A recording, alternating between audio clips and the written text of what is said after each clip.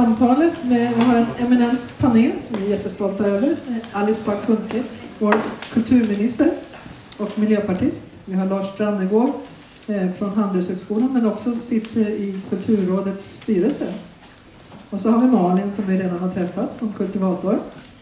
Eh, och så har vi Per Bill från Moderaternas kulturtalesperson. Så varmt välkomna alla fyra. Vi har nu två mikrofoner som vi ska försöka samsas om, men vi hoppas att det kommer gå bra. Eh, och vi håller på en timme ungefär och eh, ska vi försöka börja med att alla ska få komma till tals lite grann utifrån frågor som jag ställer.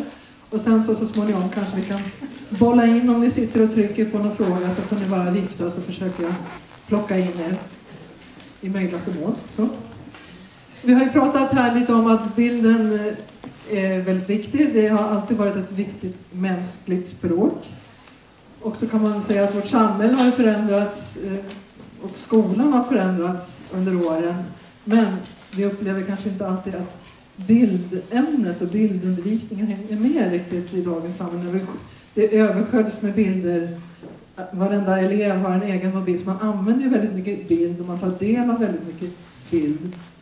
Men eh, vi ser det som bristande hur skolundervisningen fungerar med, i bildundervisningen och konstundervisningen. Och det är det som vi ska prata lite mer här om idag. Och jag tänkte börja med att fråga Alice Back. Eh, just om bild och konst. Då. Om du, det är en stor fråga. Men om eh, vilken betydelse skulle du säga att bildkonstämnena har i skolan för både eleven och kanske för Sverige som konst och kulturnation? Eh, och, och då vill jag att jag ska svara vilken betydelse det har idag eller vilken betydelse jag tycker att det ska ha. Ja, du kan ju få väva ihop ja, de två. Nej, men, eh, alltså, bildkonsten eh, eh, ska ju ha, eller bör ju ha, en stor, eh, ett stort inflytande på undervisningen. Eh, och det är ju därför som eh, både mitt parti och regeringen nu har tillsatt en utredning för att se hur vi ska få tillbaka de estetiska ämnena på gymnasiet. Eh, men det är ju senare i livet. Men, men bildkonsten är ju också viktig och det finns ju studier som visar detta eh, för barn tidigt i livet. Bilden som uttrycksmedel och som eh, begreppsträningsmedel är ju oerhört viktigt. Och det vet vi ju alla som som har tagit del av barnböcker som ju bygger mycket på bilden och lek med bilder och eh, hur man använder bilden i, i, i och det finns ju fantastiska eh, barnböcker som just utgår bara från bild och ibland i många tidiga åldrar men också i senare åldrar. Jag fick en bilderbok för, för vuxna i julklapp som var fantastisk. Alltså bilden, ja ni vet ju, säger ju mer än mm. tusen ord. Så bild, ja nu blir det jättelångt. Men, men bilden är bildspråket, både som eh, för att öva, alltså dels också för att öva sig i, i, i konst, alltså bilda sig kring bilder, men också för att öva upp eh, sin förståelse för eh, begrepp och eh, inte minst förståelse för och kunskap i kritik. Där har vi tunga argument ja. för bilden. Och ska jag vända mig till våra andra politiker. Vi har alltså två politiker, och inte vilka politiker som helst, utan politiker med verkligt inflytande skulle jag vilja säga. Så det är viktigt det som sägs här idag. Eh, och då vill jag höra, du har ju hört de här föreläsningarna nu. Var det någonting speciellt här som du fastnade för, som du kan koppla till din egen syn på konst och politik? Nej, alltså till att börja med så håller jag med Alice. När Titta vad bra! Det du går strålande tider till mötes som, som helhet. Nej, men alltså jag, man plockar upp ett litet ord här, ett litet ord där. Och, och livet är mycket roligt, eller jag tror att det är roligare att vara 15 år idag än när jag var 15 år. Det finns ju så mycket eh, roliga saker att göra. Mina barn, när jag berättar för dem att eh, jag inte hade några tv-spel och jag hade liksom, ja, ja men vad hade du för videospel? Men det hade jag inte heller några. Utan, så kom min yngsta son fram till mig och sa Pappa, du måste ha haft en väldigt tråkig barndom. Och ja, kanske... Och då sa du ja, eller? Nej, det sa inte. Men det, det, det, finns idag så fantastiskt många eh, roliga saker. Så om jag skulle liksom... Eh, det jag fick lite inspiration här när jag satt och lyssnade var väl liksom just det här att, att vi kanske pratar lite för mycket om stuprör, liksom bildlektionen. Jag skulle ju vilja få in mera tänkande om bild. Alltså på samma sätt som man idag ty tycker mer och mer viktigt att få källkritik så måste man liksom börja titta på bilderna. Är de, är de rätt? Är de, liksom, eh, är de pixlade? Är de, eh, vad, har, vad har man gjort med dem? Vad har de för syfte? Vad har de? Så att, jag skulle säga att bild är väl viktigare idag än någonsin tidigare. Vi återkommer lite till vad, hur man ska kunna åstadkomma den förbättrade bildundervisningen. Så vill jag bjuda in Lars lite i samtalet och jag ställer en fråga här till dig. Tycker du att det behövs ökad kunskap om hur bilder används och det kopplar direkt och kan tolkas idag? Eh, generellt sett eller ja. på, i, eh, i högskolevärlden? Jag kan tala om det i högskolevärlden. Ja, jag kan faktiskt tala om det just på ja. min skola. Ja. Eh, eh, min skola är ju då Handelshögskolan som ju eh, där går ju sådana som eh, går ut i näringsliv och i eh, offentlig förvaltning, internationella organisationer och sånt där. Och jag håller ju med om det att eh, det bildflöde som vi ser idag, det, det har ju ökat något alldeles lavinartat. Och jag tycker inte att vi är speciellt bra på att förbereda våra studenter för att vara liksom egentligen att ägna sig åt bildanalys eller att tolka bilder överhuvudtaget. Eh, vi är rätt bra tycker jag faktiskt på textanalys av olika slag. Vi kan ju använda oss av litteraturvetenskapliga eh, verktyg till exempel för att försöka förstå vad det är som de facto sägs. Vi intresserar oss mer och mer för retorik etc. Men jag, jag tycker att vi är dåliga i vår undervisning generellt på att faktiskt eh, avkoda kan man säga alla de bilder som, som vi omges av och det är någonting som vi inte är ensamma om att vara dåliga på faktiskt. Din skola utmärker sig lite grann genom att vara handelshögskola men ändå ägna sig en hel del åt konst på olika sätt. Har du något allmänt att säga om det? Varför ni gör det? Eh, ja, vi tycker ju att det är en, eh, eh, alltså vi är en vetenskapligt baserad skola och vetenskap ju, har sin speciella kunskapsproduktions och kunskapsspridningslogik så att säga. Där man gör olika typer av studier och sen så levererar man dem då i, i form av ja, vetenskapligt, vetenskaplig kunskapsproduktion helt enkelt. Medan den estetiska kunskapen, den är ju, nu talar jag om detta som kommunikation, estetisk kommunikationsform, den, är ju, den talar till våra sinnen på ett helt annorlunda sätt. Men den är också vetenskaplig? absolut. Eh, men den har en annan, det är en annan kommunikationsform eh, och också en annan produktionsform. Och eh, då är det viktigt att man inför även den, tycker jag, speciellt när vi befinner oss i, den, i den helt enkelt estetiserade värld som vi faktiskt befinner oss i också. Så att om man exponeras för eh, konst och kultur på vår skola, då ökar sannolikheten att man blir en bättre beslutsfattare, tror vi då. Det ser man ett tecken på att konst kan komma in överallt. Då ska Malin få en fråga här också. Eh, vi pratar ju om skapande och kreativitet i grundskolan och gymnasiet. Lite här. Och, eh, är det viktigt och varför? Skulle du kunna säga något om det? Du har ju redan varit inne på det i din föreläsning. Ja, precis. Det, eh, det är viktigt på så många sätt. Jag, jag tycker jag känner på mig här också två spår av, av konst och bildundervisning i skolan. Så det finns spåret som handlar om att lära sig läsa bilder, att lära sig använda bilder och förstå hur man blir påverkad och manipulerad av bild. Också, vi har ett jättestort reklamflöde, man, man måste liksom kunna vara med på, på det här med vad bilder betyder och man, kunna läsa bilder som vi pratar om att analysera bild. Det, det är som ett spår som är superviktigt och så finns det det andra spåret som jag också ser och kanske jobbar med mer med själv är människa, den skapande människan, nästan aktivisten på ett sätt där samtidskonsten kommer in också som kanske inte bara handlar om, om bilden som en platt bild men det kan vara en estetisk handling eller det kan vara en process som sätts igång. Det kan vara det att man, att man får stå upp och faktiskt göra skillnad eller, eller göra en, o, en oväntad sak, tänka nytt. Att, det att tänka nytt, att hela tiden bara öppna upp den här kanalen är ju något otroligt viktigt för konsten i, skolan. Så både egna skapandet och att ta del av bilder, precis som med ordet, att man både behöver kunna använda ordet själv för att kunna ta sig till sig mm. kanske, språket. Eh, någon annan som vill kommentera om det med skapandet i skolan så här inledningsvis?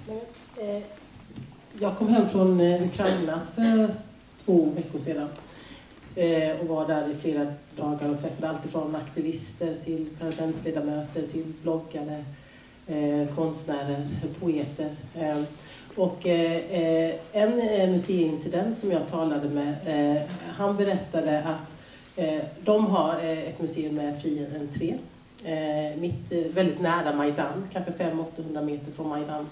Eh, och han berättade att även om de alltid har haft, de har eh, i genomsnitt 1500 besökare per dag. Eh, ja, helt fantastiskt. Men han har ju, har ju känt, efter, under den här perioden, sen Majdan, sen upproret, så har ju människor strömmat till ytterligare. För, så det finns ju ett behov av bild, eh, av konst i tider av oro, i tider av eh, jakt på uttryckssätt, i tider på att kanalisera känslor, både barn och äldre. Så att alltså, bilden har ju en fantastisk eh, eh alltså också både att göra själv, alltså att skapa, men också att ta del av bilder för att kunna förstå sin omvärld. Och han, eh, det blev, eh, och han sa att det var så tydligt. Eh, nu hade han inte haft resurser att, att ha forskning eller följa det eller ha mätt det, men han sa att vi ser ett, ett ökat behov av att eh, få tolka sin samtid genom bilder. ja, bara som ett tillägg. Mm. Jag tänker att, då, det är lite det vi är inne på, att bilden egentligen är ett språk precis som läsandet eller ordet. Och att den borde erkännas som det och ge utrymme därefter. Håller ni med om att man kan, man kan säga det? Ja, det har unisont från panelen. eh, och vilka är då skolans utmaningar, de största utmaningarna för att ta itu med det här? För man kan ju inte säga att skolan idag får det budskapet med sig att det är lika viktigt att arbeta med bilden som med ordet. Det är, liksom, det är ingen överdrift att säga så. Ja, men jag kan ju börja lite i alla fall. Under de åtta åren som vi hade makten i Alliansen då så, så införde vi Skapande skola. Och det roliga är också att, att det är nu en reform som, som den rödgröna regeringen bygger vidare på. Det tycker jag är liksom ett sätt att, att få elever att gärna vid tidig ålder Eh, börja fundera över mer estetiska ämnen. Och att, alltså på samma sätt som man kan bli extremt inspirerad om man går på en rockkonsert eller eh, ser en teaterföreställning så kan man naturligtvis bli det om man, man träffar en, en duktig bildkonstnär och ja, man ser någon som det är en sån där talang som man önskar att man hade, att man kunde spela med instrument och att man kunde rita till exempel. Så att, eh, men jag, alltså jag tror också på att det gäller att försöka att ta bort en del av stuprören och försöka få in mer av bild och estetik i många av de andra ämnena. För att annars så är det risk att det blir skolpolitiker som säger att så här många timmar har vi totalt i skolan och x antal ska gå till gymnastik och y antal ska gå till svenska och sådär. Och då, då hamnar man, tror jag, eller man brukar hamna i liksom problem. Inte stuprar säger du. Nu ska vi Alice ha viftat. Ja. Nej, eh, eh, ja, visst. Men eh, det stora och allvarliga som eh, jag vill mena att eh, eh, din regering gjorde, Per Bill, det var att ni tog bort de estetiska ämnen från gymnasieskolan. Och det är oerhört allvarligt, för det visar ju också på en, en ideologisk eh, vilja att eh, mena och på ett tydligt sätt visa att eh, de estetiska ämnena inte är lika viktiga som andra ämnen.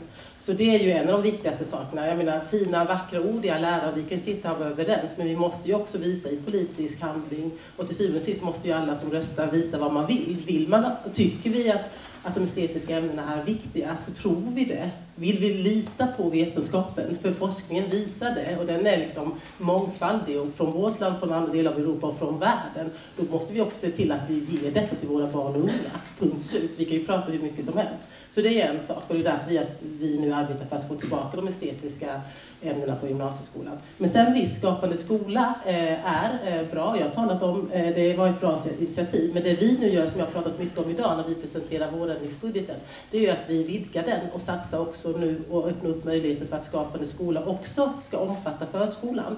Så det är ju otroligt viktigt, för vi vet ju också av alltså, forskningen att det är viktigt att man får mer kultur tidigt. Men och här kommer vi tillbaka till ideologin och, man, och vi kommer hela tiden studsa vid det därför att Skapande skolas svaghet, den stora svagheten är att den är frivillig. Den hänger på att det finns en eldsjäl på många skolor. Jag har varit runt nu på massa skolor de sex månader jag varit statsråd och träffat dessa eldsjälar som beskriver att de har lyckats ge mer kultur till just sina elever därför att de har en eldsjäl som sitter och gör de här ansökningarna som driver detta. Sen har jag också besökt allt för många skolor som inte har den här eldsjälen. Så du tycker att det ska vara obligatoriskt? Ja, men nej, ja, här kommer den politiska viljan hit för att det här är ju ingenting som bara händer. Här kan vi ju bestämma politiker. Vi kan ju bestämma att konsten är viktig, de estetiska ämnena är viktiga och alla barn, oavsett eldsjäl eller inte, ska få den här möjligheten. Ska vi lämna ordet till Lars? Jag tänkte bara där, det, det, är ju ändå en sorts hierarki som man ser när man då, alltså man kan nästan skämtsamt säga att det är siffran, ordet och bilden på något sätt. Va? Eh, då är ju siffran, eh, det sa ju Sida väldigt fint i sin, eh, i sin presentation tidigare om Eh, det som är mätbart. Det är klart att det är det som det är lättare, det man koncentrerar eh, även skolans arbete, och det är där man lägger fokus. Och då blir det matematik och de så kallade STEM-ämnena, alltså Science, Technology, Engineering och Math. Det blir liksom det som blir det viktigaste. Därefter så har man andra saker som också man kan mäta i någon mån, till exempel PISA-undersökningar och sånt där. Eh, nämligen ordet som också går att få med där.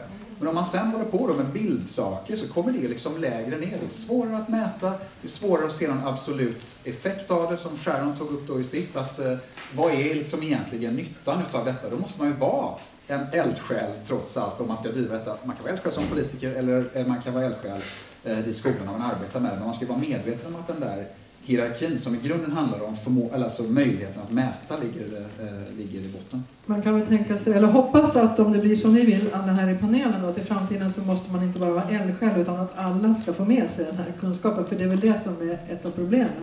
Och som de säger att ja, men alla vill alla önskar att de kunde teckna och måla. Ja, men alla kanske önskar att de kunde algebra också, men man måste faktiskt jobba och lära sig och få tillgång till det. För Men det är svårare att, att göra alla de här sakerna på grund av att vi lever i ett samhälle där, eh, där vi mäter saker och ting. Och se effekterna av det blir mycket svårare.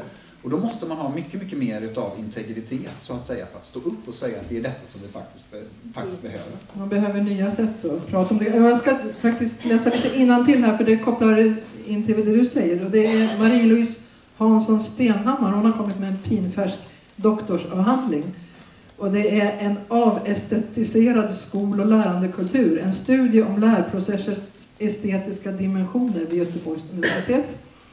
Eh, och det som den visar det är det här att eleverna får sällan öva sig och tänka kritiskt och använda bilden på det här sättet. Och att det gäller, och det är det här som är det häpnadsväckande, att det gäller även bild och musik och slöjdämnena. Att även där så levererar läraren uppgifter som ska lösas på rätt sätt inom en viss tid och eleverna säger att de är duktiga om de har gjort x antal teckningar ja, som de skulle göra. Så ja, Ja, ja nej, men hon var intressant. Den vill jag verkligen ta del av. Är, är hon här? Nej, jag tror inte hon är här, men du kan få länken. Ja, ja men den hittar jag ju. Men ja, vad spännande. Men för du sa, eh, det du sa, alltså, vi, för det är så uppenbart att vi lever i ett tidevarv där vi, där vi människor har tränats i eller vad det är. Men vi verkar ju vilja ha siffror på allting, mäta allting. Det har blivit liksom ett sätt för oss att förstå vår omvärld. Och då krävs det ju också mod.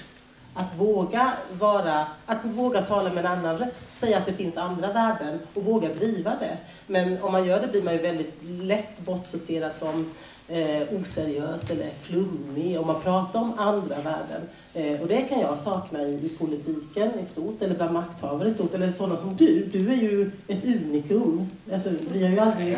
Jo, nej. Fast jag, ja, men jag har följt dig och läst saker om dig och saker du säger. Och varenda gång har jag så skickat länkar till vänner. Liksom att, att den, ja, ja, men, eh, där, I din värld så är det ju inte många som är så modiga. Men då kräver det ju också att man är en oerhört kompetent... Det, det är höga krav eh, på en sån som du. Eh, och, och de, vi, finns inte, vi kan ju inte klona dig. Liksom. Mm. Många. Ja, men det, det är ju, det, du gör en stor skillnad där när du också vågar prata så här. Och vi kan säga att de här estetiska lärprocesserna, för det skrivs ju och pratas om dem, eh, de är experimenterande och reflekterande och undersökande. Och vi är ganska överens om att de borde vara en viktig del av skolan. Men jag ska släppa in Malin lite, för du jobbar ju med då konsten i skolan och kan ju sägas vara en del av det. Hur ser du att Att får du plats, ges du plats, tas det på allvar? Och vad skulle behöva komma till för att du skulle få, ta en, få en större plats på skolan? Mm. Jag, jag, finns ju i det här förlovade landet som är folkbildningen, där, där jag jobbar mest. Och där får jag plats. Och vi, vi ser helt konkret att när vi jobbar integrerat med bild och estetiska ämnen, eller skapande ämnen i, i att läsa in gymnasieämnen, de, de elever jag har, de läser in gymnasiet. Mm. Så, så fungerar det. Alltså det ger ett fördjupat innehåll och det är inte att konsten är nyttig för att det gör det roligare men ibland är svenskan nyttig för att man ska göra ett konstprojekt och man behöver skriva ett brev mm. till den som har hand om landstingets lokaler för man vill ta en fotoserie där till exempel. Som jag hade en elev och hur kommer det sig att man har kopplat in det här på din skola och i den processen? Det finns ju en, en lång, eh, det, vi har hållit på med det, jag har jobbat där i tio år och hållit på med det och det, det finns ju en, en idé om den här skapande människan och bildens betydelse som har fått leva fri i folkbildningen. Den har inte varit styrd av studieplaner som resten av skolan har varit. Och, och idén är ju just det här, dels att man ska, man ska skapa den här ett av våra högsta mål är att göra den demokratiska medborgaren, den medborgaren som, som får vara med i samhället, som känner att den kan det, att den får säga det den, det den tycker och att den kan göra skillnad. Det är, är det bland annat folkhögskolorna då? Ja. Ja, just Som har en egen styrning på det ja. sättet. Är det någonting som ni tycker skulle prägla övriga skolan? Ja, ja. och det ska, det ska ju prägla den övriga skolan. Så står det ju skrivet. Men återigen, eh, vackra ord eh, skrivna, nedpräntade, betyder ju inte att det praktiseras på samma sätt som, ja, som vi kan tolka orden, eh, tyvärr. Ja, det ser man ju både om kulturpolitik och här i skolan. Jag har faktiskt en mening här om undervisningen ska bidra till att eleverna utveckla sin kreativitet och sitt intresse för att skapa. Mm. Den ska också uppmuntra eleverna att ta egna initiativ, att arbeta på ett undersökande och problemlösande sätt. Mm. Skrivet finns det. Men då, om skolan inte lyckas idag, hur ska, hur ska vi få ordning på det? Ja, men alltså, det är ju så här att det finns många bra lärare, det finns många bra skolor, det finns många elever som får riktigt bra undervisning. Däremot så måste vi försöka se till att det blir fler som får detta hela tiden. Men jag, ibland eh, så tycker jag att vi politiker eh, svartmålar svenska skolan. Det finns absolut mer att göra. Vi, ingen av oss är nöjda. Vi kan göra mycket mer. Men om man går runt och tittar på en normal skola idag jämfört med den skola som jag gick i i Uppsala så skulle jag säga att det, det är liksom ett bättre tänk idag. Det finns större möjligheter till flexibilitet. Det finns liksom öppna musiksalar där man kan, där eleverna liksom, när de har tid över i skolan kan gå och musicera och, och göra sina saker. Och så, här. så att alltså, vi ska inte vad säger ni andra? Är det så att det den gamla är, liksom, pluggskolan. Det är det bättre nu för, är bra idag. Är det bättre för konsten i skolan idag? Jag tror många upplever att det eh, har haft ett krympande utrymme. Jag vet inte hur det var i din skola, men jag tycker det låter knepigt att, att det som är bra är att det finns platser de kan gå in och få tid över. Jag menar, det ska väl också vara en tid som är avsatt till det här. Jag tror att Absolut. det vi har pratat mycket om med, med frivillighet och pro problemet med frivillighet är att det befäster de som redan är inne på en linje, som kanske har föräldrar som är inne på en linje. Det befäster att de fortsätter där, men de andra, som Sadja pratar mycket om, som inte har det där med sig, hur, hur, hur ska man få det då? Bara en liten replik. Nej, det var inte alls så jag menade, utan det är klart att man ska ha sina timmar, men man kan nu förkovra sig i det man är liksom extra sugen på. Är det musik eller bild så är det väl jättebra om, om salen inte är låst. På samma sätt som man kan gå och sätta sig i en mattezon och jobba mer med matte om man vill det. Fast, fast, fast, fast jag vet inte, vi, då besöker vi ju inte samma skolor, för var kan man det? Alltså det är ju inte så idag. Alltså segregationen, det kommer ju rapport om det hela tiden, det måste vi ta på allvar. Alltså skillnaderna mellan de olika skolorna i Sverige har aldrig varit större skillnaden. Så vi, vi fostras ju, vi föds upp och vi fostras och vi lär oss i olika. Alltså vi skapar från början ett samhälle som bygger på olikheter. Och därför måste vi ju också driva en politik som, som får ihop landet. Vem ska ta itu med det här? Ja, men det, det ansvaret har ju bland annat jag som en del av regeringen. Det är en otroligt grannlaga uppgift och ett jätteansvar. Eh, och vi har tre och ett halvt år kvar på oss i den här mandatperioden att försöka visa att det faktiskt går. Men det är ju en jätteskuta som ska vändas. Men vi måste våga prata om det och våga prata om de här visionerna som eh, till syvende och sist för oss handlar om eh, att våga, eh, våga konfrontera den kapitalistiska idén och eh, sifferidén. För oss handlar det om det.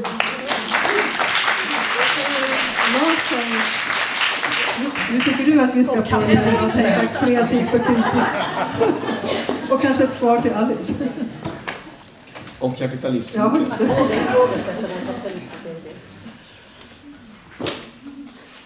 Jag tycker att det är en god idé att ifrågasätta den kapitalistiska idén. Eh, det är väl egentligen det som en, eh, ja, framförallt högre utbildning, ska väl just syssla med den typen av ifrågasättande. Jag menar, vi ser vår roll att vi ska fostra tänkande eh, och kritiskt tänkande individer naturligtvis. Och om vi skulle gå in i någon sorts dogmatisk eh, läge där vi säger att detta är det som gäller, det är klart att det är ju värdekast som man säger. Eh, så det, det, det, tycker jag absolut. Och jag, och jag tycker också att jag menar, vi lever ändå i det som kallas för kunskapssamhället idag där, det är, Eh, där då kunskap är det som är det, det viktigaste då, inputen och produktionsmedlet och outputen så att säga för att använda lite halvmarxistisk terminologi. Eh, så är det ju på det sättet. Och, och, eh, och och, och, då är det så att vi måste ju bli bättre på att värdera kunskap. Våra, våra studenter måste bli bättre på att värdera vilken, vilken typ av kunskap som man de facto konfronteras med. Eh, och då är det så att eh, estetisk kunskap är just ett sådant sätt att man faktiskt kan, kan värdera det också. Jag tycker det var intressant det som Sharon tog upp här tidigare med eh, i vilken mån man egentligen ska vara eh, liksom nyttodriven, eh, så att säga. Vad ska man egentligen med eh, konst och kultur till? Och då har det ju då, Richard Florida eh, togs, ju, togs ju som ett exempel på ett sätt som man, eh, på något sätt att man blir reduktionistisk om man ser det som en sorts, eh, liksom ett mål i sig. Att ja, vi ska, kultur eh, och konst, det är någonting som vi ska öka vår BNP med så att säga. Det är ju en, en uh, inställning som inte är, den är liksom fel kan jag tycka i grunden. Därför att egentligen är det ju på något sätt tvärtom, att vi ska ju använda oss utav ekonomin, den kapitalistiska logiken för att skapa ett bättre samhälle kan man till exempel tycka. Um, så att, så att, eh, men däremot så är frågan, ibland kan det vara bra att man trots allt har den här nyttologiken. Och det är det som gör det lite lurigt. Vi kan till exempel säga att ja, det är viktigt med estetiska ämnen. Det är viktigt att vi, att vi lär oss ett estetiskt uttryckssätt. Det är viktigt att vi lär oss att eh, avkoda och läsa bilder till exempel, därför att det är bra för samhället. Man blir en bättre eh, samhällsmedborgare, man blir en bättre eh, demokrat, eller en, ja, helt enkelt en bättre demokratisk eh, demokrat, på så här. Det blir man faktiskt. Eh, och eh, man blir, man, det, det kommer en mängd positiva effekter utav detta och samtidigt är det ju ett sorts nyttoargument.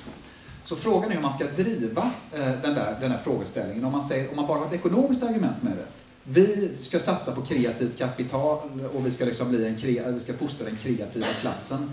Eh, och det är därför som vi ska ha konst och kultur och det är därför vi ska då skola våra eh, studenter i entreprenörskap och nytänkande och estetik för att de ska kunna ut och skapa bra reklambyråer och nya Acne eh, etc, etc.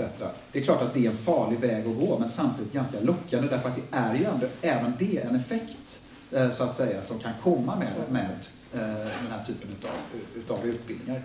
Så att Frågan är, tycker jag, hur man lägger upp den där retoriken. Vad är det som är rätt och vad är det som är fel egentligen? I grunden är det naturligtvis fel. Sharon har ju helt rätt i det hon säger.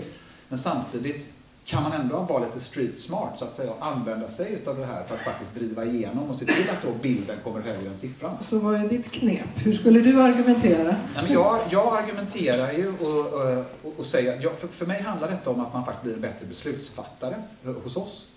Eh, och jag tycker att det är, det är också ett nytt argument. Egentligen.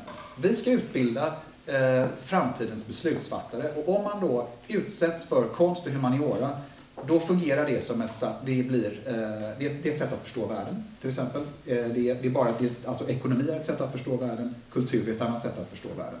Eh, om man tittar på, eller utsätts för konstverk så är det ett sätt att skapa friktion av olika slag, som jag också var inne på eh, och talade om att det är det som är en av konstens roller. Eh, och det får en att, att konst kan vara konstigt så att säga och därför också då väcka olika typer av frågeställningar. Det eh, gör att man reflekterar över sig själv. Det är ett sätt att lära sig etik faktiskt. En av de absolut bästa sätten skulle jag vilja hävda, istället för att ha kurser i sån här corporate social responsibility, så kan vi istället säga, ja, exponeras för ett konstverk så reagerar man på ett visst sätt och det blir en ingång till att förstå varför reagerar jag på detta sättet. Har ni sådana kurser på Handels? Vi har, eh, vi har den typen av seminarier Eh, och vi vill göra det ännu mera därför att vi tror det här är liksom den viktigare eh, frågeställningen. Istället för att tala om liksom, eh, hållbarhetsfrågor som någon som lägger ett dekret på hur du ska vara mer hållbar, du ska tänka mer, så kan man börja tänka efter genom att konfronteras med. Eh.